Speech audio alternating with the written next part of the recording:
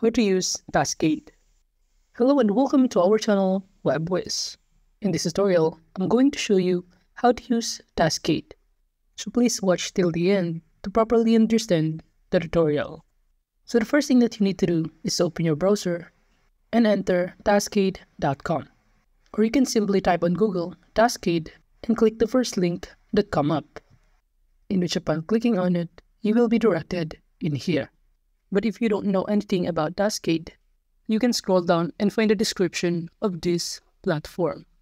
Since Taskade is a collaboration and task management platform that allows teams to work together, manage projects, and stay organized. It also provides a flexible workspace where users can create an organized task, project, and to-do list. And aside from that, you can also get Taskade on any device such as on Android, iOS, MacBook, Windows, Linux, and many more.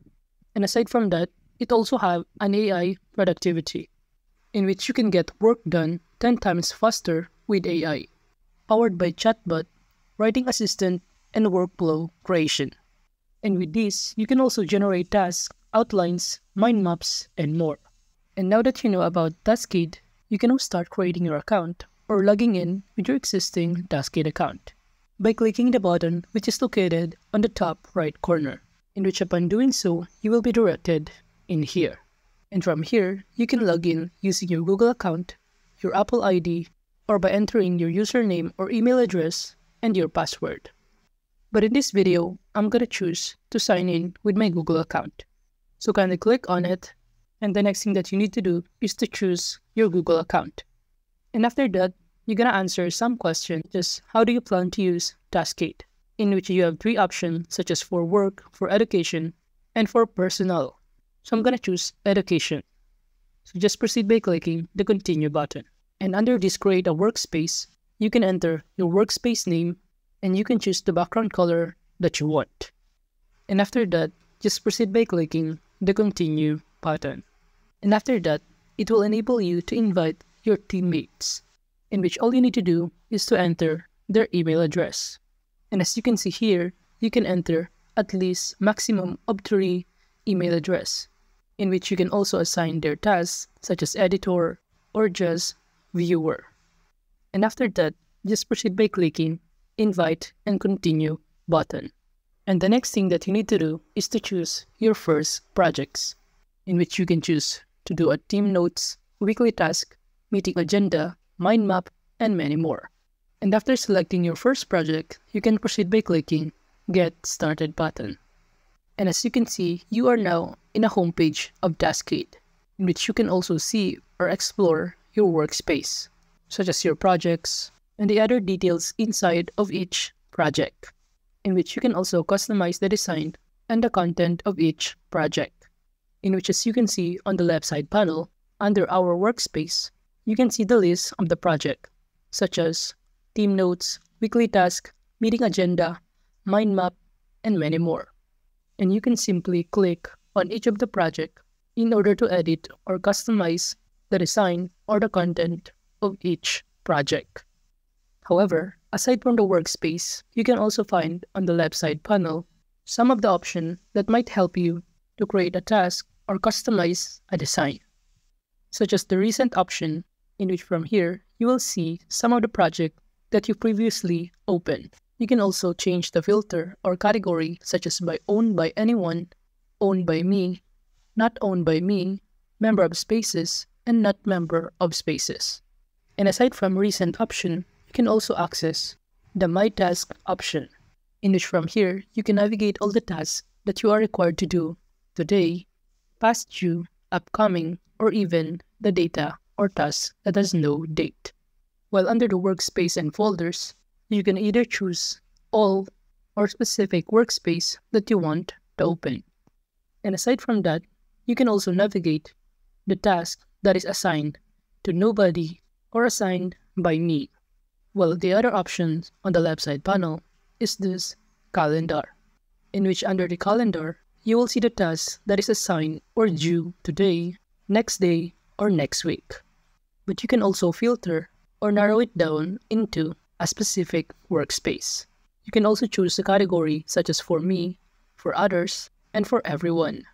While the calendar itself, you can narrow it down by month, week, or even a day, or even a previous day, today, and for the next day, which is very helpful in order to highlight some of the important details, events, or even tasks that is due today.